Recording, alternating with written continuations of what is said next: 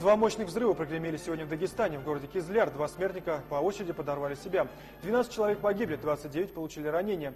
Президент Дагестана Магомед Салам Магомедов провел в Махачкале очередное заседание Совета Безопасности Республики. Подробности в нашем сюжете. Оба взрыва прогремели в центре Кизляра с интервалом в полчаса. Первый в половине девятого утра на Московской улице, недалеко от здания МВД и первой гимназии. Бомба взорвалась в автомобиле Нива, который милиционеры остановили для досмотра. В результате погибли три человека, двое ранены. Где-то 8.30-8.40 утра находились на работе, э, услышали сильный хлопок, даже стены затряслись. Э, выйдя на улицу, заметили, поднимаются клубы дыма. Э, подъехали на место, действительно мы немножко опасались повторного теракта, поэтому так с опаской передвигались. Когда сотрудники милиции осматривали место происшествия, к ним подошел неизвестный, одетый в милицейскую форму. Именно он привел в действие второе взрывное устройство. На данный момент установлена личность смертника. Это житель Кизляра Дауд Джабраилов.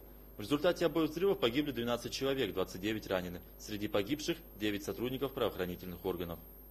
Прошу обратить внимание и бдительность на все жизненно важные объекты. На массовые посещения, которые сегодня есть во, всем, во всей республике. Прежде всего это кинотеатры, школы, колледжи, университеты. Дополнительно еще проработайте все связи, которые касаются к незаконно вооруженным формированиям. Усильте бдительность районных отделов внутренних дел и органов исполнительной и законодательной власти. На месте взрыва образовалась воронка диаметром 5 метров и глубиной около 2. В радиусе 200 метров выбиты все стекла в зданиях.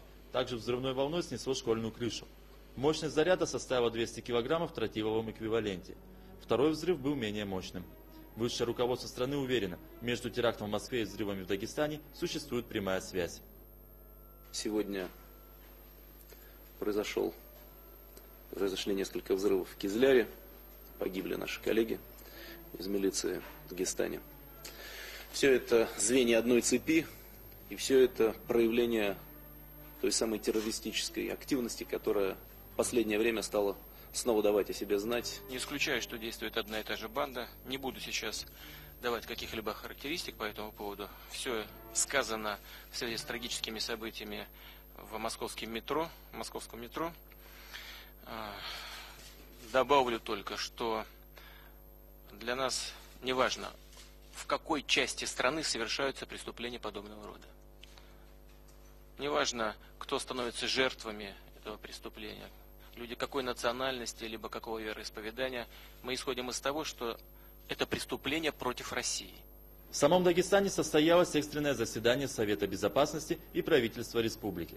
Глава Дагестана потребовал от правоохранительных органов усилить меры безопасности. Магомед Сава Магомедов выразил соболезнования родственникам погибших и поручил правительству оказать помощь их семьям. Теракты, которые произошли совсем недавно в московском метрополитене, теракты, которые произошли здесь у нас в Кизляре, ставит одну цель, это значит посеять панику, страх среди людей, расшатать общество, э, потерять э, доверие людей к власти, э, дестабилизирует обстановку в республике. У них ничего не получится. Магомед Саламу Магомедову свою помощь предложил лидер Чечни Рамзан Кадыров. Для проведения расследования в Дагестан прибыли криминалисты Центрального аппарата Следственного комитета.